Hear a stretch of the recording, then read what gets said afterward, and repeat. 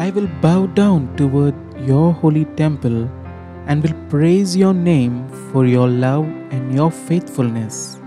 For you have exalted above all things your name and your word.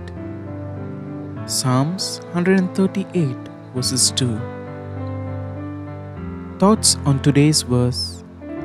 For Christians, God's temple is one of two related things either the Christian's body or the group of people who make up his church.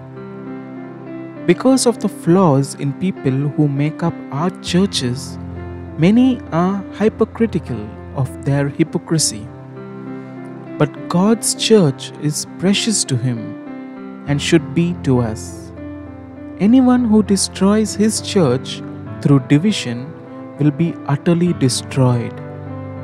God's faithfulness to His people is seen in His preservation of the church through all the ravages and persecutions of history, and His patience with the flawed people who are in His church. But God is still the center of the church, and He alone is to be exalted.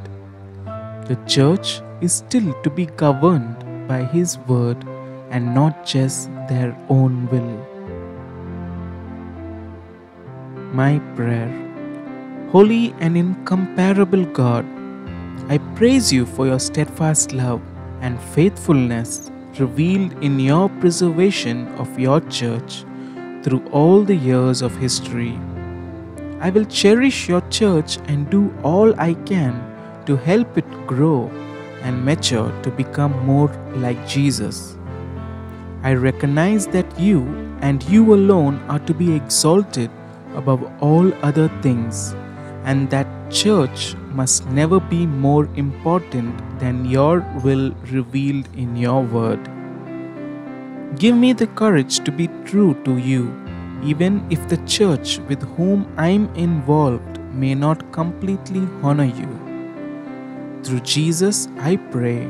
Amen. Take care and have a blessed day. May God bless you.